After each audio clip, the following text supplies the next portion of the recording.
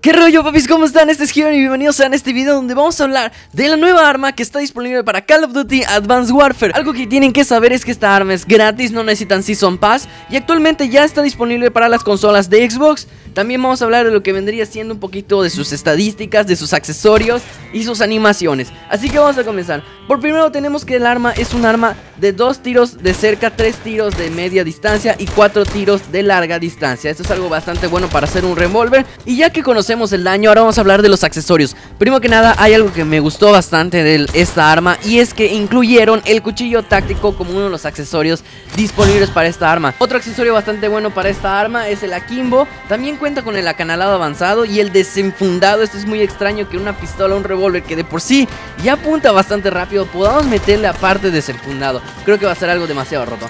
Pero bueno, vamos a hablar un poquito también de lo que vendría siendo las animaciones Las animaciones que tiene esta arma. Cuando apuntamos está bastante genial. Con el dedo lo disparamos, se ve bastante chingón Pero lo más chingón es cuando nosotros disparamos sin apuntar Cómo utiliza el arma. Y también hay algo muy interesante Cuando nosotros agarramos una racha o cuando pedimos una racha el arma la recoge muy muy genial, la verdad es que me gustó bastante. Ahora vamos a hablar de lo que vendrían siendo las variantes, algo que muchos desconocemos cómo van a funcionar.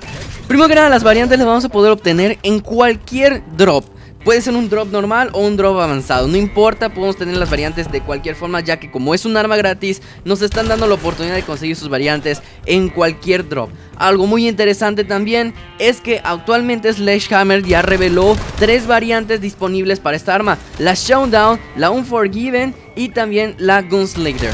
Todas estas variantes tienen mejoras, bastantes mejoras eh, comparadas con la normal sin embargo, creo que lo más importante entre las variantes no son las mejores que tienen conforme al daño conforme al rango, como que pueden ser Akimbos, sino que una de las mejores que más me gustó son los camuflajes que vienen incluidos con ellas. La verdad es que se ven bastante geniales estas armas con lo que vienen siendo sus variantes. Chavos, hasta aquí voy a dejar el video. Esto fue lo que vendría siendo la información sobre esta arma. La verdad está muy completa, me gustó bastante. Si quieren conocer más información sobre el arma, suscríbanse al canal porque voy a estar subiendo más videos sobre esta arma, ya que los accesorios son algo muy esencial de esta arma y hacen que varíe demasiado el uso del arma. De acuerdo chavos, así que espero que si les haya gustado este video, compartan con sus amigos, denle al botón de like y mientras tanto yo me despido, este es hasta luego, bye.